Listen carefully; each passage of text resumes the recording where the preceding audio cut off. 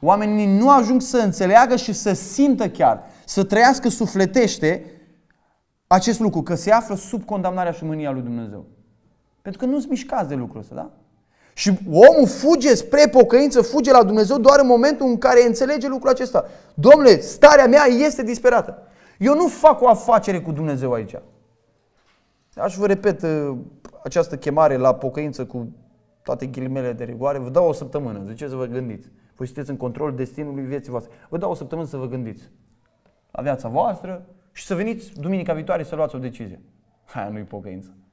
Deci aia este o travestire și o bajocorire a pocăinței biblice în ultimul hal. Aia nu este pocăință. Bă, bine bă, o să mă duc acasă să mă gândesc. Asta că stai ăștia la un pahar, ăștia din Nive, bă, ce credeți voi despre mesajul lui Iona? Da, e interesant. Hmm. Aia nu-i pocăință. Oamenii aceștia au fost cuprinși de frica lui Dumnezeu. Oamenii aceștia au înțeles că se află într-o stare disperată. Oamenii din jurul nostru care nu-L cunosc pe Dumnezeu se află într-o stare disperată. În orice fracțiune de secundă, oricare dintre ei ar putea plonja în iad. Oricare dintre ei. Da? Adică înțelegem lucrul ăsta. Pentru ei era 40 de zile. Pentru noi și pentru oameni de asta s-ar putea să nu mai fie nicio oră, nici un minut, nici jumătate de oră. Adică la propriu ar putea fi copiii noștri, ar putea fi frații noștri, ar putea fi pentru unii părinții noștri care nu-L cunosc pe Dumnezeu. Adică e chiar atât de gravă. Într-un fel noi ne-am anesteziat că n-are cum să moară, n-are cum să vină Domnul. N-a...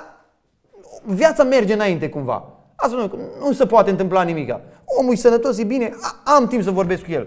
Dar nu este așa. Viața tuturor oamenilor este la risc maxim continuu. Ei se află într-o stare disperată. Și noi ar trebui să le comunicăm clar lucrul ăsta. Că noi credem lucrul acesta. Întrebarea este dacă chiar îl credem, da?